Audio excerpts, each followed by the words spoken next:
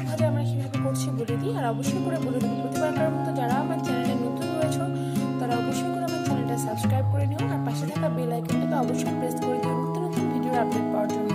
যদি তোমরা ভিডিওটি মানে পেতে চাও, তাহলে কিন্তু বেল আইকনটাকে প্রেস করতেই হবে, নইলে কিন্তু তোমরা পাবে না। আর অবশ্যই করে লাইক করে দিও, সবার সাথে শেয়ার করে দিও, আমাকে অনেক অনেক সাপোর্ট করো আরও অনেক দূর এগিয়ে যাওয়ার জন্য। আমার চ্যানেলে প্রায় তিনশোটার উপর রান্না রয়েছে দেশি বিদেশি কন্টিনেন্টাল থাই, সমস্ত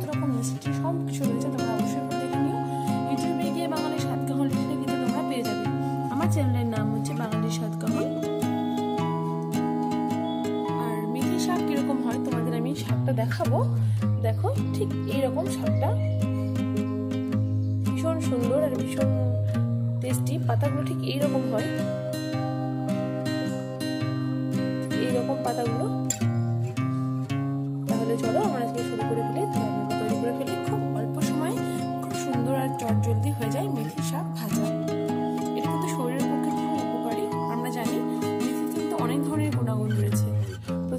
মেথি শাকটাকে খুব সুন্দর করে কেটে ধুয়ে বেছে রেখে দিয়েছি।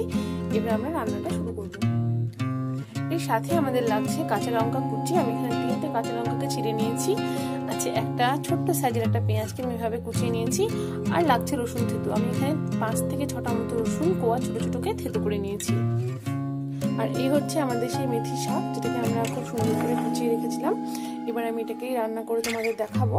আর এর পাতাটা ঠিক এইরকম হয়, দেখো, খুব সুন্দর। চলো রান্নাটা শুরু করা যাক।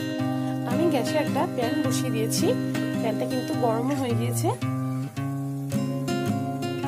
প্যানটা গরম হওয়ার পর প্রথমেই আমি এখানে দিয়ে দিচ্ছি একটা চামচ মতো সর্ষের তেল। সর্ষের তেলটা একটুখানি গরম হবে। তোমাদের এখানে আমি একটা জিনিস বলে দিই। আমি যেহেতু মেথি শাক রান্না করছি, আমি কিন্তু মেথিটাই ফোড়ন দেবো। মেথি শাক রান্না করছি, অনেকে অনেক ধরনের ফোড়ন দাও, কিন্তু আমি মেথিটাকে প্রেফার করি, তাই আমি মেথিটাকে ফোড়ন দেবো। মেথি শাকে কিন্তু মেথিটাই খুব সুন্দর ভালো লাগে আর খুব সুন্দর যায়ও। দেখো, তেলটা গরম হয়ে গিয়েছে। আমি প্রথমেই দিয়ে দিচ্ছি তেলের মধ্যে হাফ টিস্পুনের মতন মেথি। মেথিটা একটুখানি ফোড়ন আসা পর্যন্ত আমি ওয়েট করব। দেখো, মেথিটা কিন্তু ফোড়ন চলে এসছে। এবার আমরা মেথিটাকে খুব সুন্দর করে একটু নেড়ে নেব।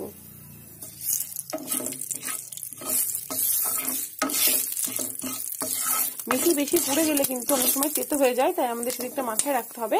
এবার আমি দিয়ে দিচ্ছি প্রথমেই কুচিয়ে রাখা রসুনগুলো। এটাকে আমরা একটুখানি ভাজা ভাজা করে নেব, একদম সামান্য।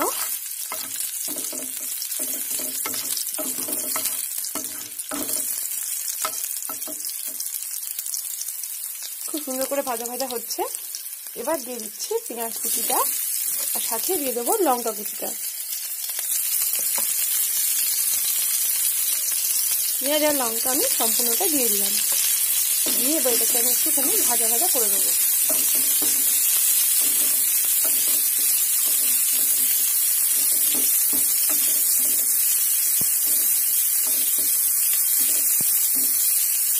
খুব লাল করে ভাজার কোনো দরকার নেই, সামান্য একটু ভেজে নিলেই হবে। যেখানে সামান্য একটুখানি ভেজে নেব। দেখো, আমাদের পেঁয়াজটা কিন্তু ভাজা হয়ে গিয়েছে। এবার আমি দিয়ে দিচ্ছি আমাদের কুচিয়ে রাখা যে মেথি শাকটা ছিল, সেই মেথি শাকটা।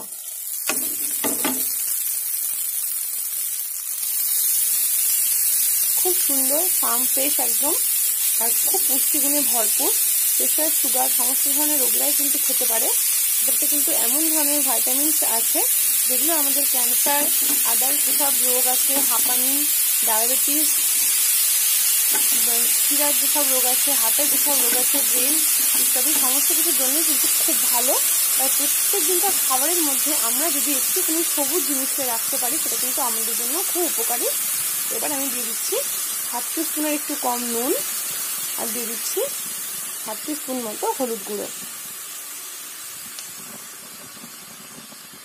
এবার একটু এটাকে মিশিয়ে নিতে হবে সমস্ত নুন, হলুদ দিয়ে শাকটাকে। আর শাকটাকে আমি একটু ভাজা ভাজা করব। খুব একটা বেশি তেল ওই জন্য আমি ইউজ করিনি। আমরা জানি এখনকার মানুষটা কিন্তু খুব হেলথ হেলথ কনসিয়াস তো এটাকে একটুখানি নেড়ে নিলাম। নেড়ে নেওয়ার পরে আমি এটাকে ঢাকনা দিয়ে দেবো, ঢেকে রাখব প্রায় তিন মিনিট মতো, ফিরে আসতে তিন মিনিট পরে। আমাদের তিন মিনিট হয়ে গিয়েছে, এবার আমরা ঢাকনাটাকে খুলে নেব।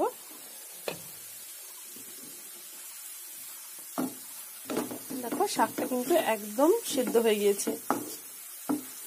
জলটাও শুকিয়ে গিয়েছে, শাকটাও কিন্তু খুব সুন্দরভাবে সেদ্ধ হয়ে গিয়েছে। এবার এটাকে একটুখানি আমরা নাড়াচাড়া করে নেব। ঢাকনাটা খুলে নিয়েছি। দেখো জলটাও কিন্তু খুব ভালোভাবে শুকিয়ে গিয়েছে।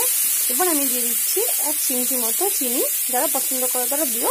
যারা পছন্দ করে না, দেওয়ার কোনো দরকার নেই। যেহেতু আমরা মেথির শাক করছি, আমরা জানি যে মেথির শাকটা দিতে হয় না, কিন্তু মেথিটাকে দিতে হয়। আর সমস্তটাকে ব্যালেন্স করার জন্য এই চিনিটা দেওয়া।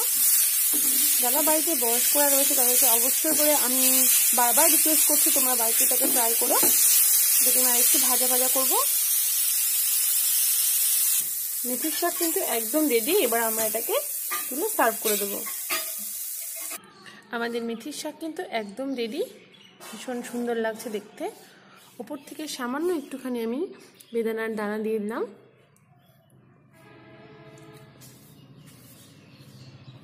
যদি তোমাদের আমার রান্নাটা ভালো লেগে থাকে, অবশ্যই আমার চ্যানেলটাকে সাবস্ক্রাইব করে নিও, সবার সাথে শেয়ার করে দিও, আর অবশ্যই করে লাইক করে নিও। আবারও নিত্য নতুন রেসিপি নিয়ে তোমাদের সামনে হাজির হয়ে যাব ততক্ষণের জন্য সবাইকে অনেক অনেক ধন্যবাদ